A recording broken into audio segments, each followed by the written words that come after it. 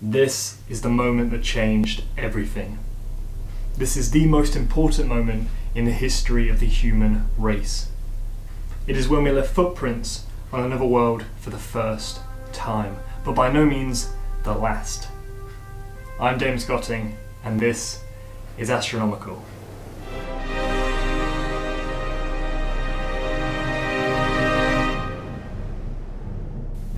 This is the Apollo 11 landing site.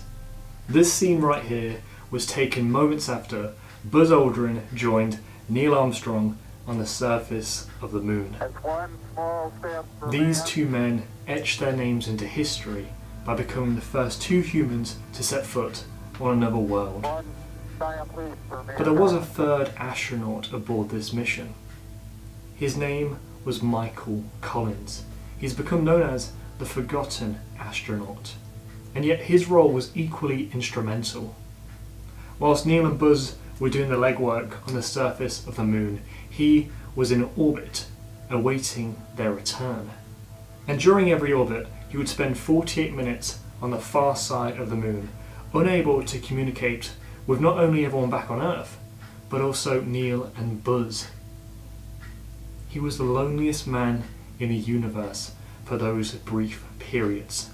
In fact, when Neil and Buzz actually landed on the surface of the moon, he was unable to communicate with anyone. He was not aware that they had been successful, which would have been a major concern.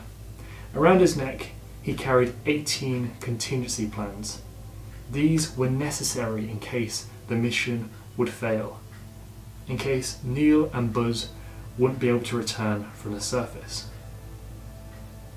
This brought him a great deal of stress. In fact, President Richard Nixon even prepared a speech to give in case Neil and Buzz didn't make it back.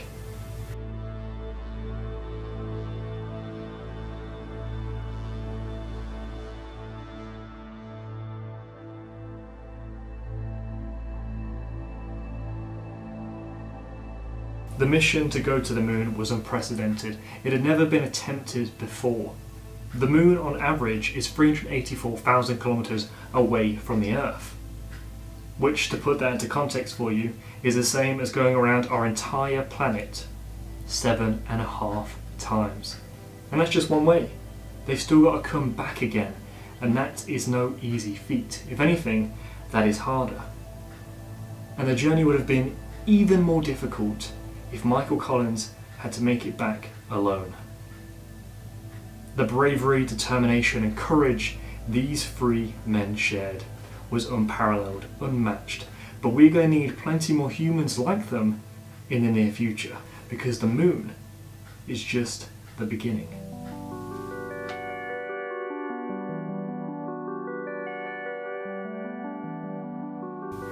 This is how Mars may look in 50 years' time. Our plans to colonise the red planet are nothing new. In fact, when the Apollo missions ended, many people believed that in the next 50 years we would have colonised Mars. As you can probably tell, we are nowhere near reaching Mars, or at least a human setting foot on the red planet. We have sent many rovers there in attempts to analyse if it is suitable for us to live on. But as we know, Mars isn't very hospitable. The temperatures on Mars are a lot colder than they are here on Earth. There is much more carbon dioxide in the atmosphere. The gravity is less than half of that here on Earth, meaning it's not ideal. But we can make it habitable we can change the composition of the atmosphere to make it a world in which we can live on. The trip to Mars is not an easy one. Going to the moon takes two, maybe even three days to get there. But Mars, at its closest point to Earth, takes eight months. And that is just one way. And I say that because it's likely that trip to Mars will be just one way. It's very expensive to get there, it's even more expensive to come back. So those brave adventurers that are going to be the first people to walk on the surface of Mars will also die there. Perhaps that is the cost of exploration. That is the price you must pay to boldly go where no one has ever gone before. But if we create a world like this, in which they can live peacefully, carry out plenty of research which will be vital for future generations, then it will be well worth it. But arguably one of the biggest hurdles to overcome is chemistry between inhabitants. If you have an argument with one of your crewmates, you can't go outside and go for a long walk and just forget about the situation. You are going to be together for long periods of time in very close quarters, perhaps for the rest of your life, which can be very stressful. And the first people to go will be very expensive liabilities. It is no easy feat. There are plenty of missions being carried out here on Earth, where they take isolated groups and put them together for years on end, and see how well they fare in such close quarters with one another. Today it is a question of whether or not to send humans to Mars. We have the technology to do so, but there are still plenty of things holding us back. One thing is for certain though, and that is that the first person to walk on Mars is alive today. They may even be watching this video. To many of us, Mars is our best chance of finding life elsewhere in the solar system. Or at least it was. Out there, in the depths of our solar system, there are other worlds that may contain life. Not planets, moons. Moons that orbit around the gas giants. These are some of the most extraordinary worlds that we have ever discovered. And they hold plenty of potential for life.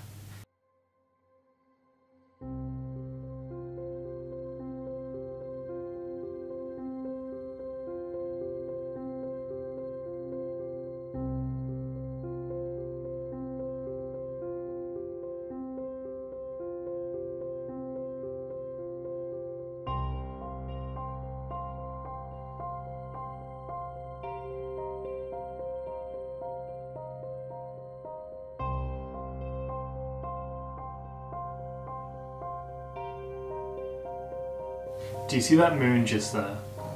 That is Io. It is the most volcanic world in our solar system. It is a hellish landscape, but even there may exist life. It makes up one of the four Galilean moons, all of which are potentially habitable. We could one day colonize those moons. We could live on them. Now this far out, the moons and the planet itself are very cold. They don't receive much heat from the sun.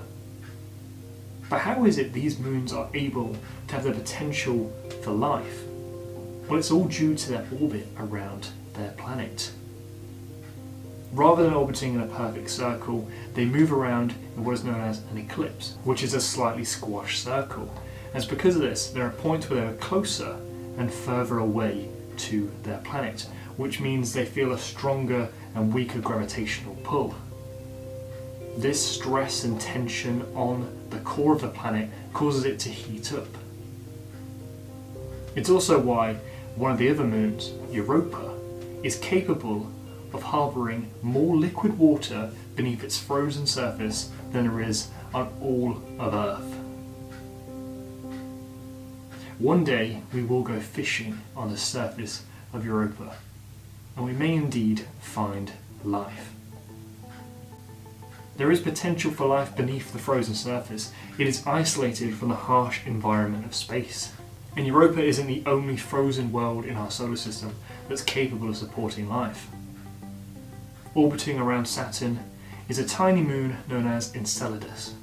It is responsible for Saturn's most outer ring. But because its gravity is so weak, it cannot hold on to the water, it immediately freezes as it leaves the geysers. It exits the atmosphere, meaning as Enceladus orbits around Saturn, it leaves a trail of these ice particles, and they produce Saturn's most outer ring, Saturn's E-ring. The geysers are proof that Enceladus has a warm core, and you can see at the south pole these tiger stripes. This is a very, very high potential for life elsewhere in our solar system. Beneath the frozen surface, life would be protected from the external environment of space. The very harsh vacuum and ultraviolet rays, none of that would affect life beneath the surface of this world. And as special as our solar system is, it is still just the beginning. There are plenty of other solar systems out there, each with a limitless potential for life. Some of which, though, will look very different to our own solar system.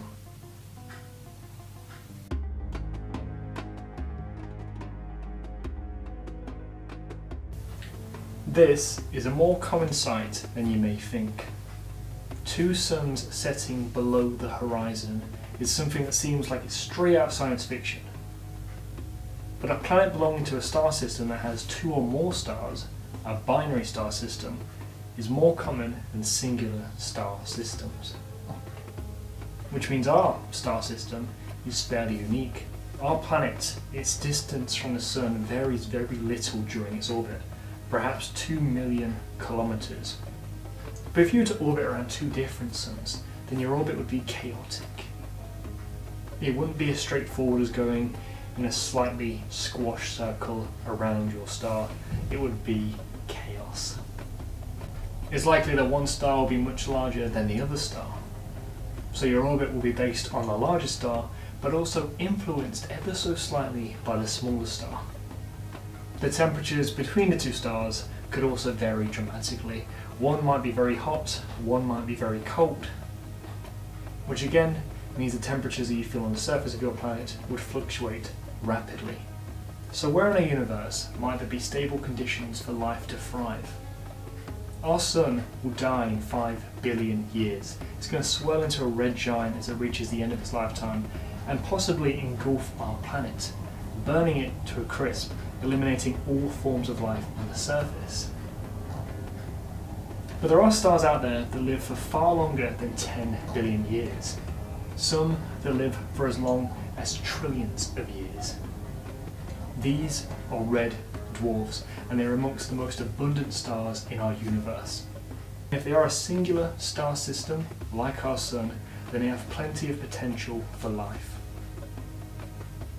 One of the best chances for finding life outside of our solar system is in the TRAPPIST-1 star system. This is a star that contains plenty of candidates for life.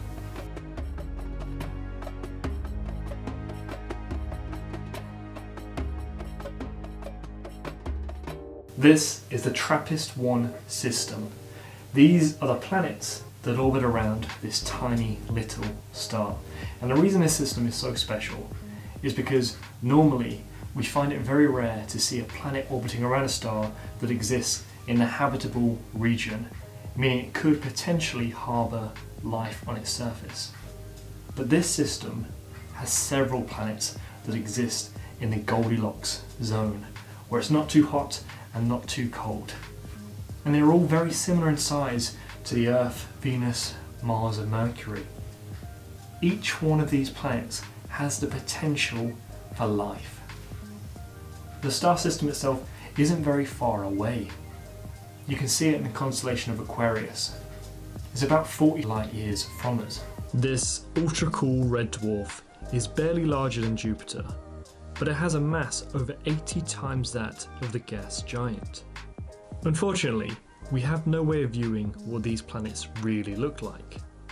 Planets do not emit light, so when we look out for these exoplanets, we have to analyse the light from their star. By monitoring its brightness, we can determine the size of a planet as well as its orbital period. We are also able to see the composition of a planet's atmosphere by measuring the spectroscopy of the light as it passes through the planet. We can then subtract this from the light's normal rays and determine whether or not it is capable of supporting life. In 2018, researchers determined that Planet E was the most likely out of all of the planets to be an Earth-like world. It could be covered in oceans of water, making it an excellent candidate for future habitation. Because of the star's small size and low temperatures, planets can afford to orbit a lot closer. This entire solar system would fit well within the orbit of Mercury. But being so close puts the planet at a high risk of being greatly affected by the radiation of solar eruptions. Because of the planet's close proximity to one another, if life were to develop on any one of them, it is extremely likely that it would spread to the others too. This means that there may exist life on not just one, but multiple worlds. This means that one day we will explore this system. There may be life awaiting on the surface for us. It may be advanced life that we one day communicate with, it may be simple life. This may one day become another home for our species. The technology to visit these new worlds is here today. We are capable of visiting the moon. We are able to visit Mars. We've even ventured to the very edge of our solar system.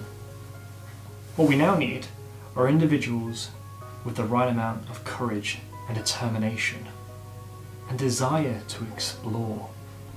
Individuals that enjoy these types of videos because they are interested in seeking the wonders out there.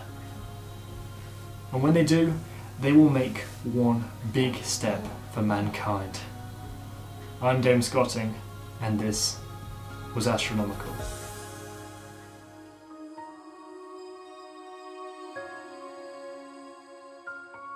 How would you like to have your name spaghettified by a black hole in front of thousands of people at the end of every single episode? Well, now's your chance. Astronomical is produced just by me, which means the scripts, recording, editing, social media, and costume design are all done by myself. And after the first two seasons, the budget is basically empty, which is why I'm now looking for donations towards the future of this science documentary. And they start at as little as one pound. If you want to watch your name be annihilated by a star as it swells into a giant before going supernova, then you can do so for as little as one pound. Or, if you'd like to watch your name be ripped apart into its individual atoms by a black hole in a process known as spaghettification, then you can do that for just five pounds. And then finally, for just ten pounds, you can take your place amongst the stars where you belong, because anyone that donates to science is a superstar.